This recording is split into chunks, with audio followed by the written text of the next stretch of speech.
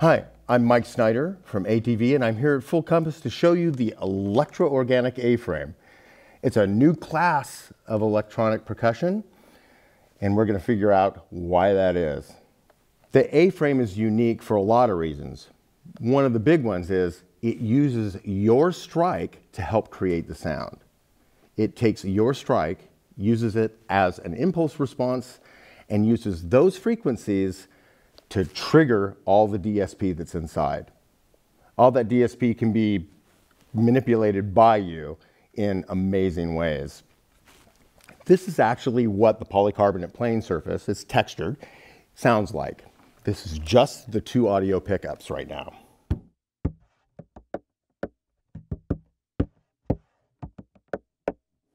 You'll notice when I strike it in different places,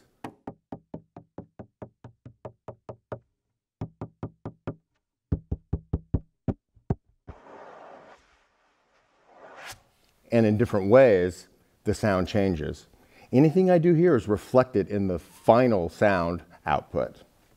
Let's see how that happens in real life. This drum is one called framey, and it mimics an acoustic frame drum.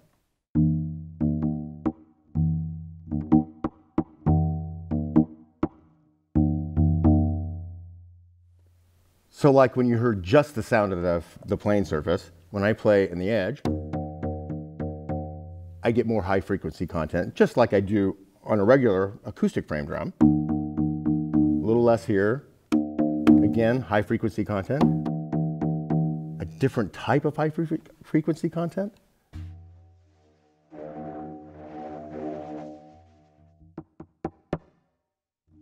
This is the beauty of DSP. DSP is a lot different than sampled sounds. We aren't using any sampled sounds in the aFrame. And that's really important. It allows you, using DSP, to express your playing style.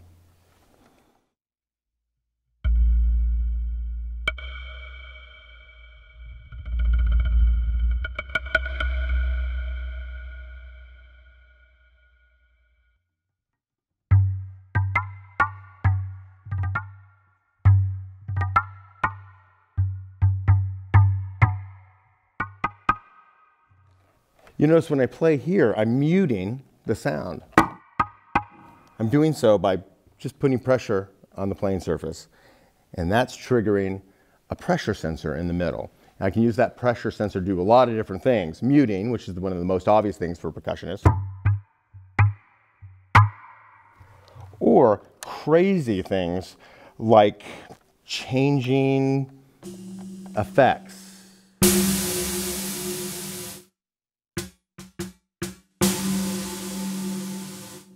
stopping the effect with pressure.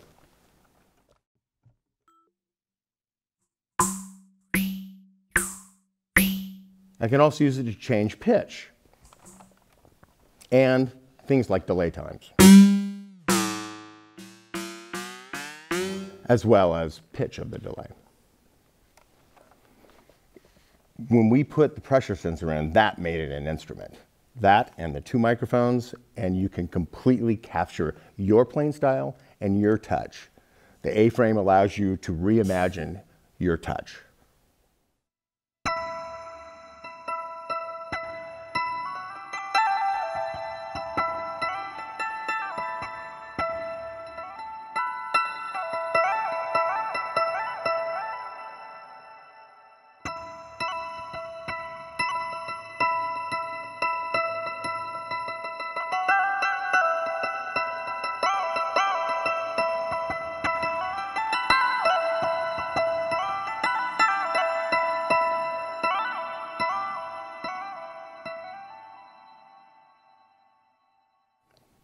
Now, if you're wondering what DSP is, it stands for Digital Signal Processing.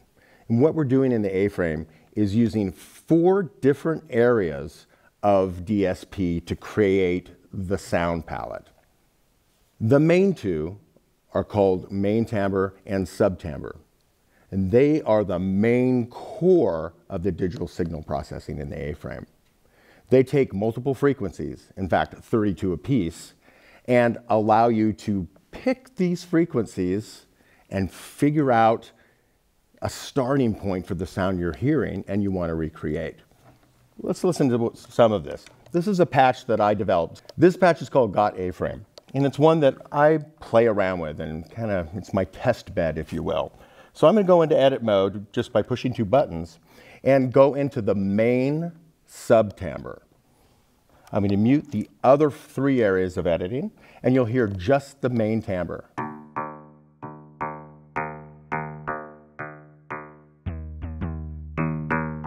Of course, it changes again. You can hear the difference in frequencies from where I play on the head. But let's change a few things.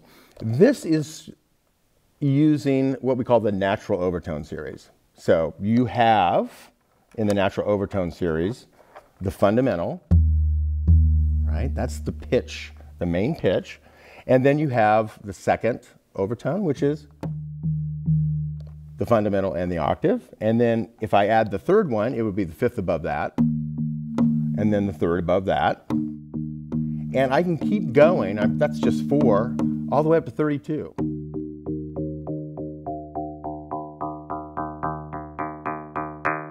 So I can choose any number of those between 1 and 32. So I like the complexity of all of them.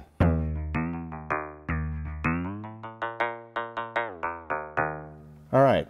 Now I'm going to pick the main tuning. I can choose in hertz the fundamental pitch or, of this particular patch.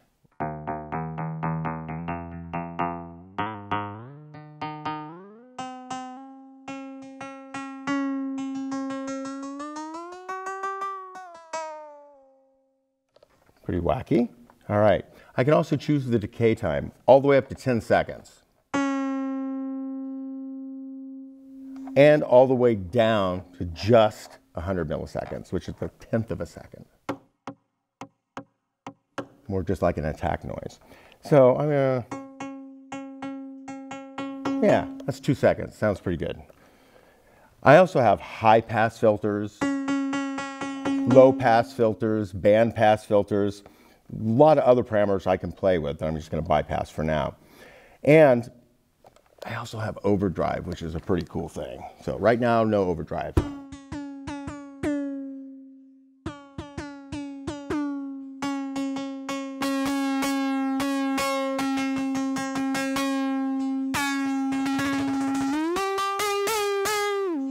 Pretty quickly, it becomes kind of nasty sounding. Very, very cool. But I'm going to go back down to zero. Yeah.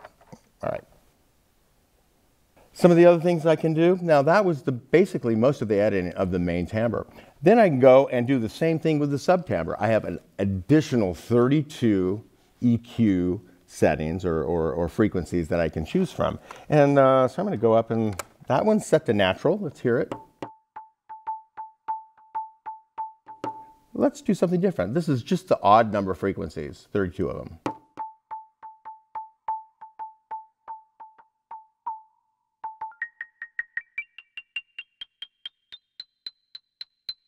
Let's combine the two, the main and the sub.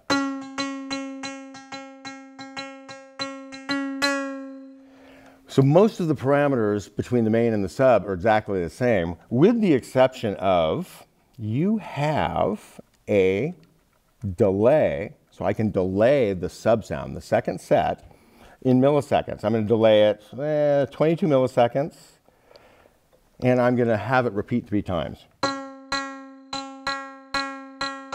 or eight times.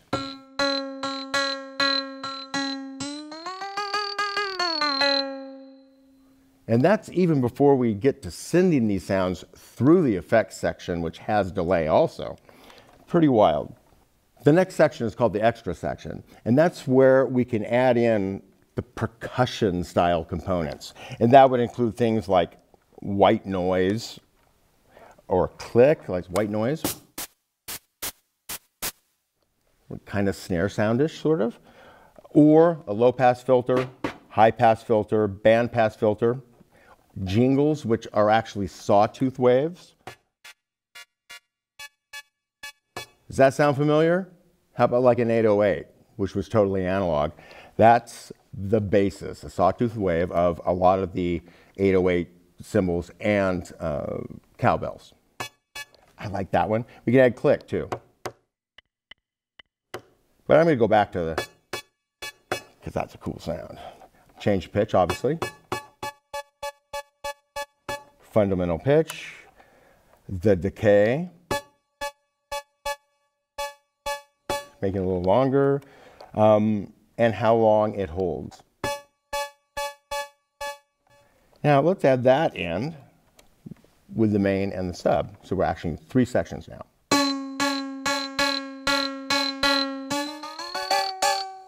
Might get you fired for some gigs, but it's a pretty cool sound.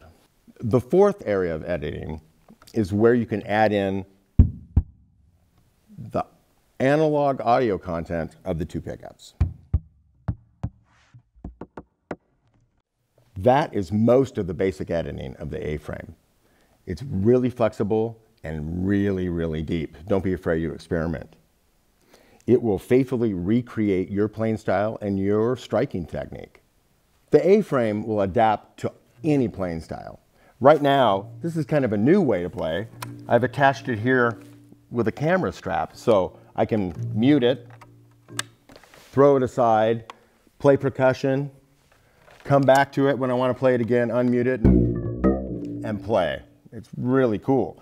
But if I'm a more traditional player, I can, let's say, unsnap it, not use a strap, and play it frame drum style. Or I can play it on my lap.